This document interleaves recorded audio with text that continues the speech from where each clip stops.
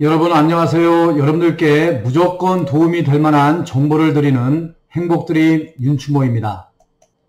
지난 8월 30일 정부에서는 상생국민지원금 지급 신청을 9월 6일부터 신청을 받는다고 발표를 했는데요. 오늘은 상생국민지원금 지급 신청 방법으로 온라인 신청 방법과 오프라인 신청 방법에 대해서 말씀드리도록 하겠습니다. 여러분들에게 많은 도움이 되시기를 바랍니다. 국민지원금 신청 방법은 온라인 신청 방법과 오프라인 신청 방법 두 가지로 신청을 할 수가 있는데요. 먼저 온라인 신청 방법을 알아보도록 하겠습니다. 신용카드나 체크카드, 모바일 또는 카드형 지역사랑 상품권 온라인 신청 방법을 한번 알아보면요. 온라인 신청은 9월 6일 월요일 9시부터 10월 29일 금요일 오후 6시까지 신청을 할 수가 있습니다. 신용카드, 체크카드 신청 방법은요. 카드사 홈페이지나 카드사 앱을 통하거나 콜센터 ARS를 통해서 신청을 하시게 되면 신청일 다음날 금액이 충전이 되겠습니다. 모바일 또는 카드형 지역사랑 상품권 신청 방법은요. 지역 상품권 앱을 통해서 신청을 하시면 신청일 다음 날 충전이 되는 방식으로 신청을 하시면 되겠습니다.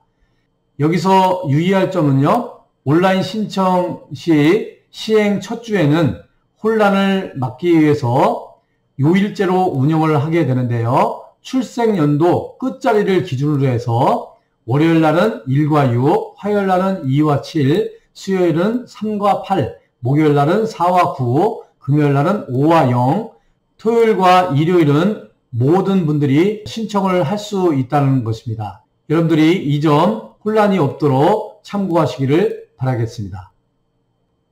지원금 신청 방법 두 번째는요. 오프라인 신청 방법인데요. 신용카드, 체크카드, 선불카드, 지역사랑 상품권, 오프라인 신청 방법에 대해서 말씀을 드리겠습니다. 오프라인 신청은요, 9월 13일 월요일 9시부터 10월 29일 금요일 오후 6시까지 신청이 가능하겠습니다. 은행은요, 은행 업무상 오후 4시까지 신청이 가능하니까요, 이 점 참고하시고요. 먼저 신용카드와 체크카드 신청은 카드와 연계된 은행 창구를 방문하셔서 신청을 하시면 되는데요.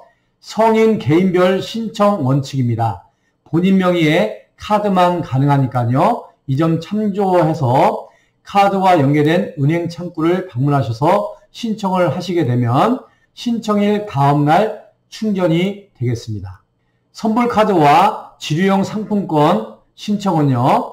읍면동 주민센터를 방문하셔서 선불카드 등은 신청자 개인 및 대리인 신청 및 수령이 가능하니까요. 읍면동 주민센터에 방문하셔서 오프라인으로 신청을 하시면 되겠습니다. 읍면동 주민센터에 방문하셔서 신청하시면 그 즉시 현장에서 지급이 됩니다. 마찬가지로 오프라인 신청도 시행 첫 주 요일제를 운영을 하니까요. 출생연도 끝자리 기준을 잘 살펴보시고 참고해서 신청을 하시면 되겠습니다. 그럼 국민지원금 신용카드와 체크카드 신청 홈페이지에 대해서 안내해 드리도록 하겠습니다. 카드 회사는 온라인은 8월 30일 월요일부터 신청이 가능하고요. 오프라인은 9월 6일 월요일서부터 신청이 가능하니까요. 이 점 참고하시기를 바라고요. 먼저 신용카드는 신용카드 홈페이지에서 온라인 신청이 가능하고요. 오프라인은 9월 6일부터 신한은행에서 신청이 가능하겠습니다. KB 국민카드는요. 온라인으로는 kb카드.com 홈페이지에서 신청이 가능하고요. 오프라인에서는 9월 6일 월요일부터 KB국민은행에 직접 방문하셔서 신청이 가능하겠습니다. 삼성카드는요. 삼성카드 홈페이지에서 온라인으로 신청이 가능하고요. 오프라인에서는 신청을 할 수가 없으니까요. 이 점 참고하시기를 바랍니다. 현대카드도 역시 현대카드 홈페이지에서 온라인으로 신청이 가능하고요. 오프라인으로는 신청이 불가하니까요. 이 점 참고하시기를 바랍니다.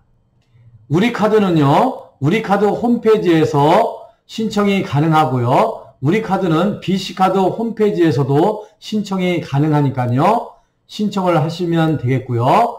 오프라인에서는 우리은행을 방문하셔서 9월 6일서부터 신청을 하시면 되겠습니다.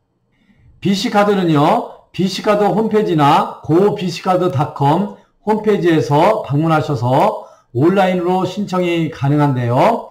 20개 제휴 회원사의 신용카드, 체크카드는 모두 BC카드 홈페이지에서 신청이 가능하고요. 페이북 앱에서도 신청이 가능하니까요. 이 점 참고를 하시고요.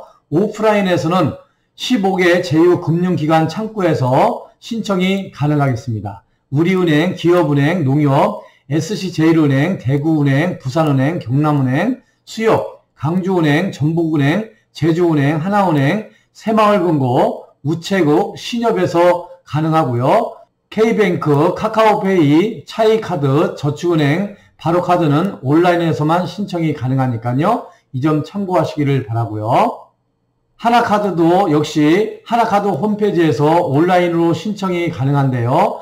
하나 자체 카드는 하나카드 홈페이지에서 하나 BC카드의 경우 BC카드에서 신청이 가능하니까요. 참고하시고요. 오프라인에서는 하나은행에 방문하셔서 9월 6일부터 신청을 하시면 되겠습니다.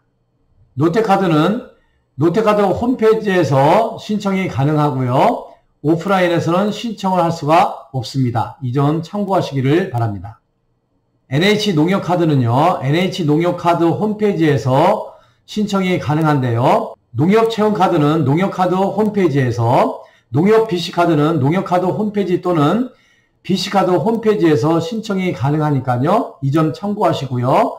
오프라인에서는 농협은행 및 농축협에서 9월 6일부터 신청이 가능하니까요. 신청하시기를 바라겠습니다.